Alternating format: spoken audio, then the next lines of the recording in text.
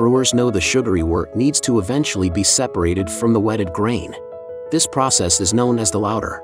Before the wort can be sent into the next vessel, the boil kettle. It is typically recirculated through this grain bed. This process is known as vorlaufing. At this step, the brewer is essentially using grain present in the mash tun to act as a filter for the wort. The vorlauf serves to clarify the wort and further develop the grain bed. Wort moves from the mash tun's false bottom to the mash tun's true bottom. False bottom is a screened bottom that allows wort to pass through, while retaining most of the grain.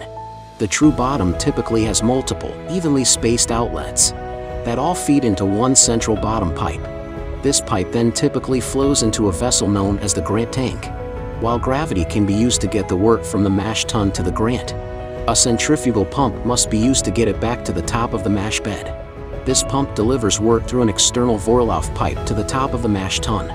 The Vorlauf outlet this pump feeds to is typically centered right above the mash bed and delivers wort to a dispersion plate that evenly, and hopefully, gently, adds it back to the mash tun. Brewers try to minimize splashing, vigorous stirring, and fast pump speeds at this point in the process. Much like mash rest time, Vorlauf time will vary by brewery and recipe. With the boom of hazy IPAs, Vorlauf cycles may be no longer than 5 minutes, or ruled out altogether likewise. Brilliantly clear styles may see upwards of 30-minute Vorlauf cycles.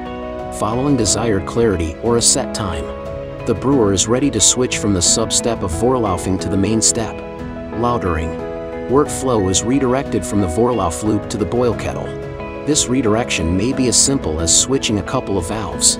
The Grant tank pump now sends the flow from the bottom of the mash tun to the bottom of the boil kettle, gradually filling it up.